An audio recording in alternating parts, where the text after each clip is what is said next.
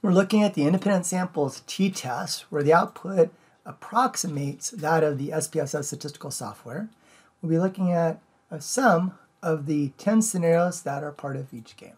Let's get started by pressing the start button. So we're going to evaluate the scenario. To retain the null, we'll click on the scenario card. To reject the null, we'll click on the reject the null hypothesis card. Here's our scenario. Compare means between two groups. Both distributions are fairly normal. However, there's not a guarantee that the variability of the two distributions is similar. So there'll be a test for that.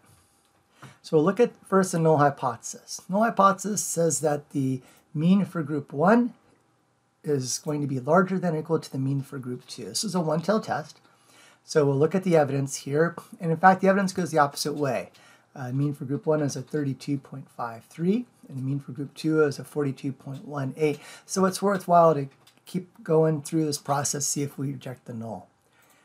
now, because we don't know that the variability for the two groups is similar, we're going to need to take a look at Levene's test for equality of variance. And if this if the significance is 0.05 or less, then we will reject that idea of equality of variances. And in fact, in this case, significance is 0.004. So instead of being able to assume equal variances, we're going to have to go with equal variances not assumed. now, looking in that, under that heading, we see that for this statistical test, the uh, t-test is a negative 1.72, degrees of freedom of 51.53, and significance two-tail is 0.091. Now, this is a one-tail hypothesis test, so we're going to take this two-tail value and we are going to divide it in half. So, you know, if you have your calculator, you can just do 0.091, divided in half, and you get something like 0.0455 5. And that's going to be less than our alpha level of 0.05. So we will reject the null hypothesis. Now, another way of thinking about this is instead of dividing the uh, 0.091 in half to compare to 0.05, we could just take it as it is and compare it to 0.1. And it's less than 0.1. So if that trick helps you, great. If not, you know, just divide the significance two-tail in half anytime you're dealing with the one-tail test and compare it to your alpha level of 0.05. So we reject, click on the reject card. For the second scenario, where again we're comparing means between two groups, our null hypothesis is that the mean for group 1 is less than or equal to the mean for group 2. The evidence is going the opposite direction. Uh, the mean for group 1 is a 76.72. The mean for group 2 is a 74.21. So it's worthwhile to continue looking at uh, these next steps. So Levene's test for equality of variance significance is 0.002. So that's saying we shouldn't assume equal variability for these two different groups. So rather than looking under the equal variances assumed heading, we're going to go down to the equal variances not assumed. And the t-test is a 0.29, which is a very small value. Degrees of freedom is, point, uh, is 14.7.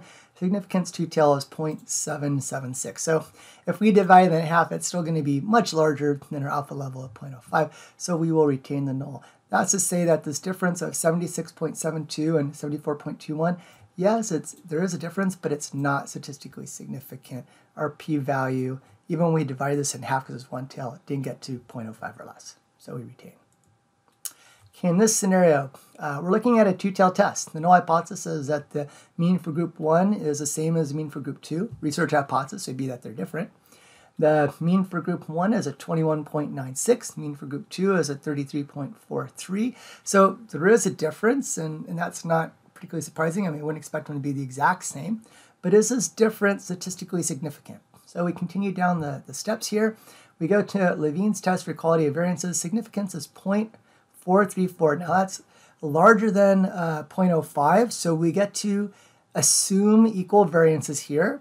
So we take a look at this upper row, and our t comes out to be a negative 1.97.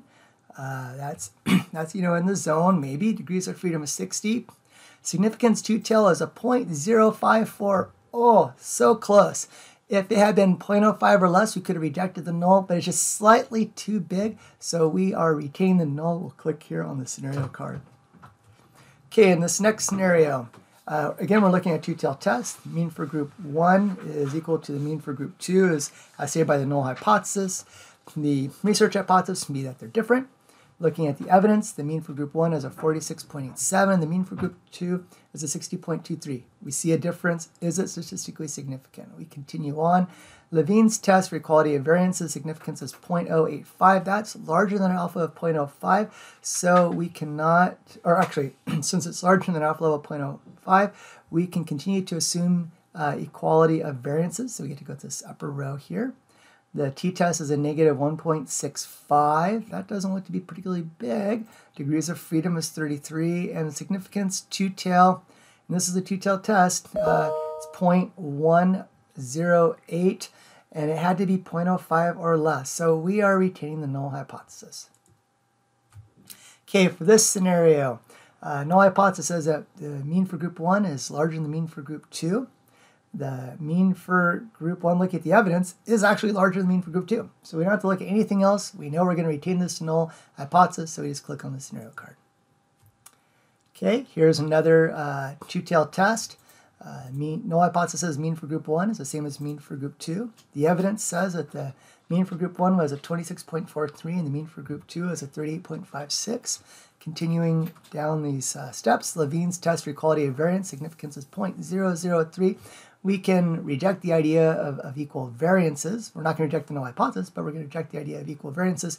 So we're going to look into this heading, equal variances not assumed. The t-test is a negative 2.53. Uh, it's looking pretty good there. Degrees of freedom is 70.34, and significance two-tail is a 0.014, which is less than our alpha level 0.05, so we will reject the null hypothesis.